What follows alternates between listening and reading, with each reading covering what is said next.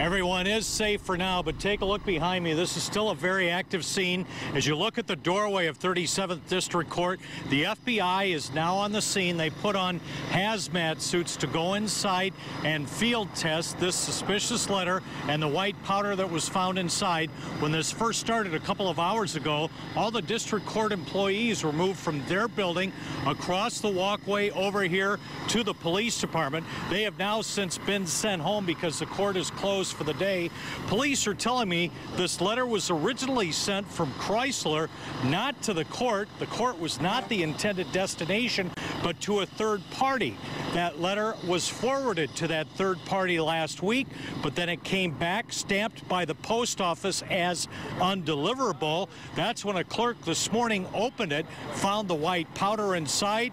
That's when police and fire were called.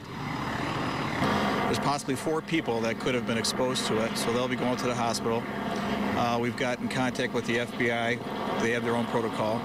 And we have our own uh, hazmat team here that they will, they may be taking the substance, and but we're in the process of investigating it. What time was it, and what are you going to do now? I'll go home, call everybody, not tell them not to show up. Yeah, that man had a wedding set for 2 o'clock here with a justice of the peace. That has since been moved over to Warren Mayor Jim Fouts' office to happen at 1.30. But I've had several people stop and ask me what's going on with the court. 37th District Court is closed for the day while the FBI continues to field test this suspicious letter and white powder. Nothing confirmed at this time, but everything is shut down as a precaution as they continue to investigate. Joanne, Glenda? All right, Jim.